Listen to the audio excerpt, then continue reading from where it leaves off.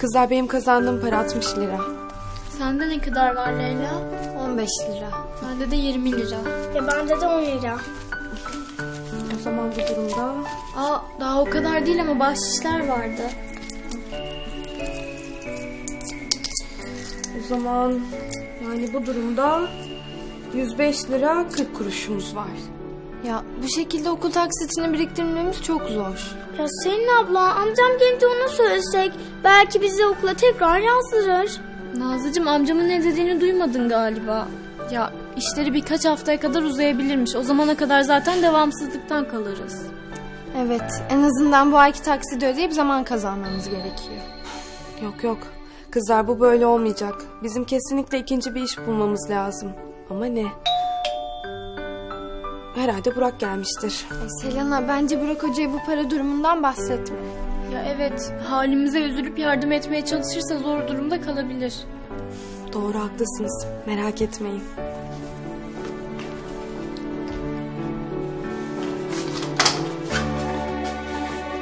Aa, siz mi geldiniz? Buyurun gelin içeri. Kızlar da o salonda. Nasılsın güzelim? Ne haber? Hoş bulduk. Ay, ay, ay benim güzel kızlarıma bak. Ah, papatyalarım benim. Kızlar yine iyisiniz ha. Annem dayanamadı size bir sürü yemek yaptı.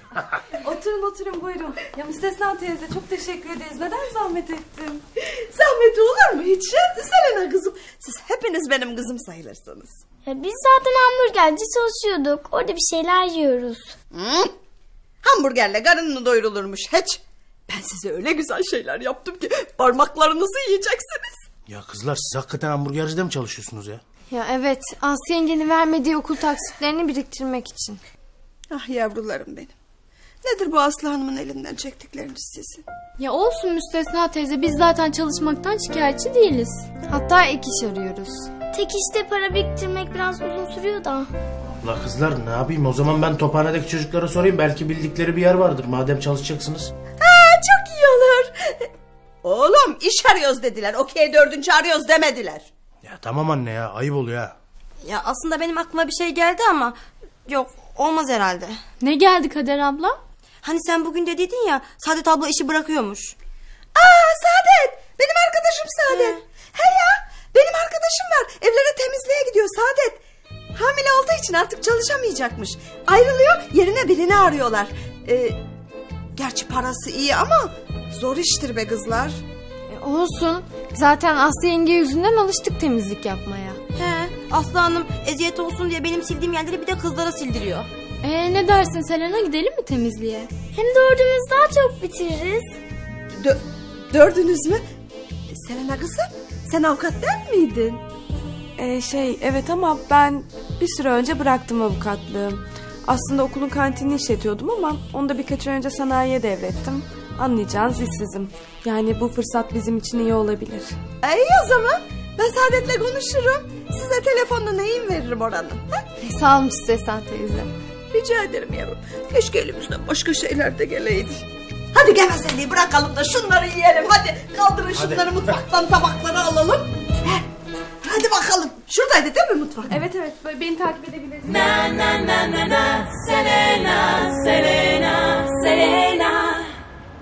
Abi bu okul kızlar olmadan geçmiyor ya. 10 saattir okuldayız. Hala 3. dersteyiz ya. Aynen abicim ne yapıyorlardır acaba şimdi? Yalnız bak ben bu Fitnat Hoca'ya acayip kıldım. Böyle gözümüz önünde resmen almadı dersi. Abicim biz de öyle aval aval baktık. Hayır sahiplenmedik bile ya. Şirinler bile aralarından bir tanesine bir şey olunca hep beraber ayaklanıyorlar. Aman biz mavi küçük yaratıklarız. Hiçbir şey yapmayalım demiyorlar abicim. Sahipleniyorlar. Selam Ozancığım. Sana da selam ezik burçlu. E Ozancığım Selin'den haberin var mı? Yok. Benim var. Nerede lan? Sen hemen atlama be lafa burçlu ya valla. Bir şey konuşuyoruz değil mi burada? E Kıvılcımcım neredeler?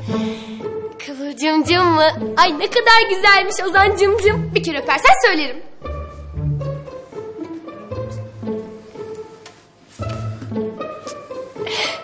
Diğer taraftan da e, beni bırakıp gidersen dul kalırım değil mi? Bunu istemeyiz.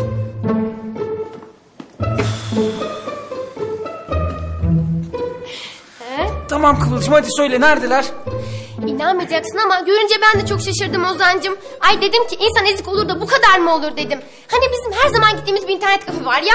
Evet. Bir kere daha öpersen söylerim. Of Kıvılcım ya. Selin, Leyla, Nazlı ve Selina o internet kafenin çarpısında hani bir hamburgerci var ya. Orada işe başlamışlar. Tabii okul aidatlarını ödeyemedi izikler. Ne? Hamburgercide işe mi başlamışlar? Sen hemen laf köylü. Neyse Ozancığım bir sınıfta görüşürüz.